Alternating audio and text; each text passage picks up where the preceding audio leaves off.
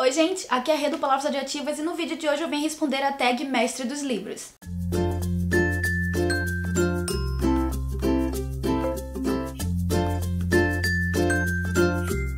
Eu vi essa tag em um canal gringo, se eu não me engano, o canal gringo que criou a tag. Eu já ia toda serelepe traduzir quando eu descobri que a tag já havia sido traduzida há muito tempo. Então, pra você ver aí o nível de tá sabendo legal da pessoa. Então, eu vou deixar aqui no box de informações o vídeo da pessoa que criou e o vídeo da pessoa que traduziu, né? Que foi onde eu vi a tag pela primeira vez e então vamos lá às perguntas.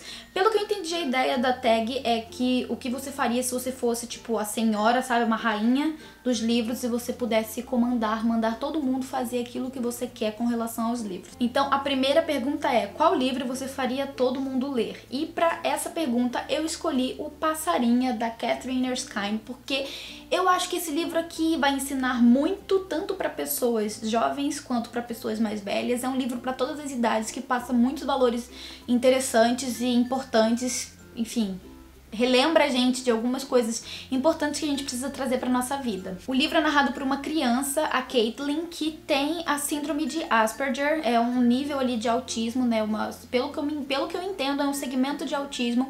E ela é uma criança que acabou de perder um irmão mais velho, o pai, ela só tem o pai, né? A mãe faleceu também já há algum tempo. E ela precisa então lidar com o luto do irmão mais velho e também com um pai meio ausente, justamente pelas tribulações que a família está passando então, a Caitlyn, com esse olhar todo único dela, ela passa pra gente, assim, umas, umas coisas tão incríveis e dá umas cutucadas na gente mesmo sem querer, sabe? Com aquela pureza de criança. Então é um livro que eu faria todo mundo ler, desde os pequenininhos até os mais velhos, porque é uma preciosidade para todas as idades. Pergunta número 2 é o que você aboliria na construção dos livros? Eu aboliria capas que não passam aquilo que a história transmite. Gente, não precisa ter pessoas na capa, não precisa ter nada assim que, que vá transmitir uma coisa que não é a, a, essência do livro. Eu tenho um exemplo aqui, que eu já falei com vocês anteriormente, que é Perdendo-me da Cora Carmack.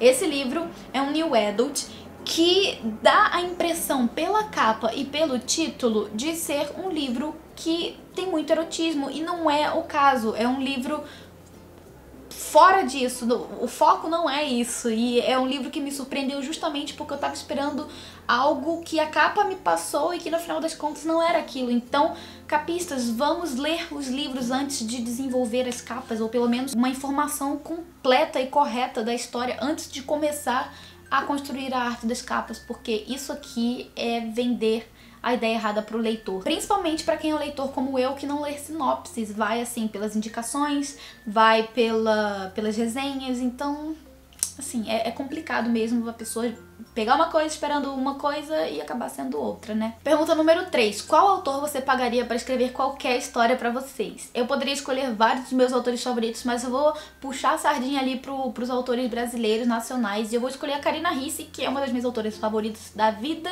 e é talvez eu ache a minha favorita nacional, então eu pagaria ela para escrever qualquer livro para mim, porque eu tenho certeza que um livro desse iria ter cenas engraçadas, cenas um, fazer a gente suspirar, ia ter um final feliz. Eu tenho certeza que ia ser um livro incrível de ser lido, então pra Karina Risse eu pagaria para fazer o meu livro, escrever um livro para mim, seja da minha história, seja de qualquer história. 4. Qual livro você rebaixaria para a biblioteca para ter mais espaço para os livros na estante? E eu escolhi um que está sendo rebaixado para o porão da biblioteca, que é Essa Luz Tão Brilhante, da Stella Laurie. Só que na verdade ele está sendo rebaixado para o sebo, porque ele vai para o sebo daqui a algum tempo. Ele tá no meu vídeo de unhaul, que eu vou deixar o link aqui caso já tenha saído. Não tenho certeza se já vai ter saído quando esse vídeo estiver ao ar. Mas é um livro que eu tô me desfazendo da estante para poder né, arrumar mais espaço também, também porque eu não vou reler esse, livro aqui. Foi um livro que não, não, não atingiu as minhas expectativas, eu estava esperando uma coisa e foi outra, e enfim, eu tô tirando ele da estante e vou arrumar mais espaço para livros novos. Número 5. Qual artista de capa você pagaria para fazer uma pintura? Não vou dizer o artista da capa desse livro, mas a pessoa que fez as ilustrações. Eu não sei se é o mesmo, mas eu acho muito lindo esse traço aqui em nanquim, gente. Eu acho muito lindo esse traço em nanquim. A número 6 é qual personagem você escolheria o rosto para ser estampada em uma moeda? E eu escolheria a Katniss Everdeen de Jogos Vorazes, porque ela é a melhor pessoa, assim, que me vem à cabeça para ir para uma nota, para uma moeda, assim, porque é realmente uma pessoa que luta e batalha pela igualdade, pela, enfim, pela justiça com, para com os seus, né, com as pessoas ali.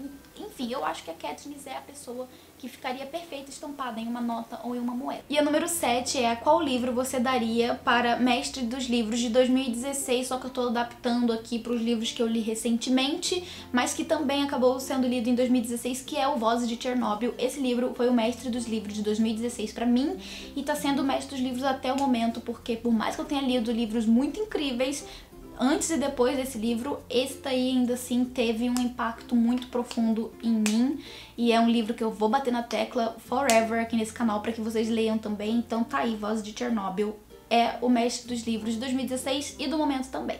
Bom, gente, essa foi até que essas foram as minhas respostas. Eu espero muito que vocês tenham gostado do vídeo. Se vocês gostaram, não esqueçam de curtir o vídeo para ajudar na divulgação e de se inscrever aqui no canal. Então é isso, eu vou ficando por aqui. Um grande beijo e até o próximo vídeo. Tchau!